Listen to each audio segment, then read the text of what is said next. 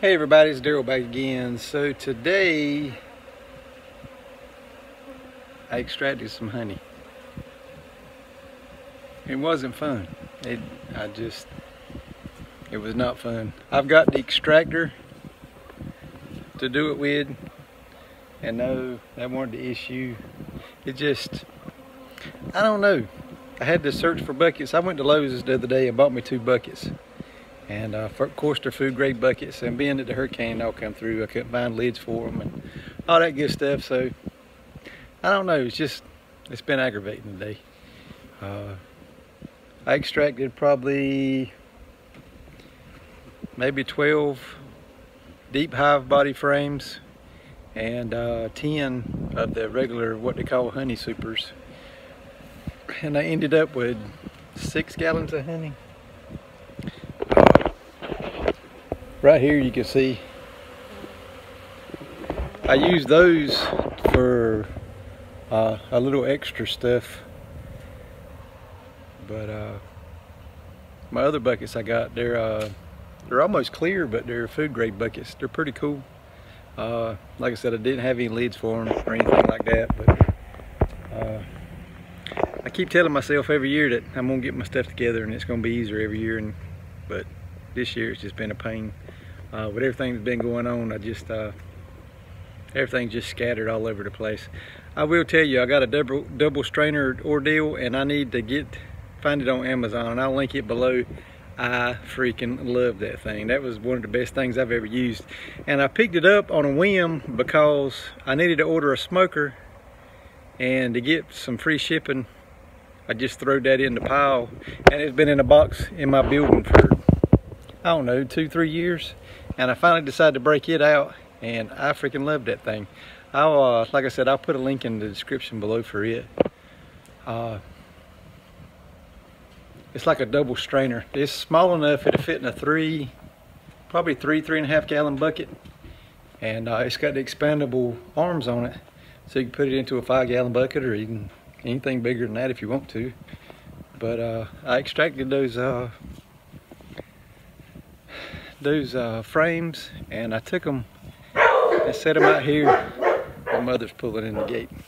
Uh, I extracted the frames and I pulled, once I did that, if you can see right there, I put them way over there against the fence for the bees to finish cleaning them up. That's the only place in the yard that I don't have any hives. So uh, that's the reason why I put them over there if you extract like that, don't put your frames and stuff in there any hives because it could induce uh, robbing. And uh, you don't want that. Uh, a lot of people thinks that your little flights in the afternoon is robbing, but if you've never seen a hive get robbed out, it is freaking violent as crap. It's not anything you really want to uh, see. I mean, there's bees fighting and carnage and all that other good stuff. So uh, even if you crush and strain if you put your cappings out that, that, that for the bees to uh, uh, clean up, don't put it near a hive because they will start robbing. Same way when you're feeding. I know in some countries it's against the law to uh, open feed. I think Australia you can't open feed, but here in the United States, I mean, they don't care. When I feed sugar water, that's what I do. I put a big feeder out and I, uh, I uh, open feed. So I told uh, Hope while ago, I said, I keep telling myself that it's going to get better every year and uh, she said well we've had a whole lot going on and that's the truth. So I'm really gonna I know if you'll look back I'll put it, the video in the uh, kind of toward the end so you can click on the video but we got some old hog houses that I need to get off my butt and uh, clean up uh, and put my bee stuff over there. It'd be a whole lot easier to take care of and all that good stuff. To get them away from the house and uh, next year I'm gonna try to fix my little place where it's just for extracting and all that other good stuff. Uh, you'll have to excuse the mess but I got a something built right over here. I'll take you over there and show it to you. It's a thing to clean deer but I think I'm gonna build me a shelter off of it. I might end up framing it up pour a little bit of concrete and making a building out of it or like a little shelter and if the mood strikes me, I might uh,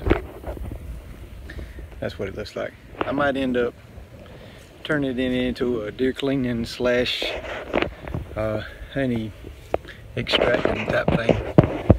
So uh, I don't know, we'll see. The big thing about doing honey extraction is you really need somewhere to do it and you need somewhere that's cool. Where I did it today was in our little uh, garage type thing and it was freaking hot in there.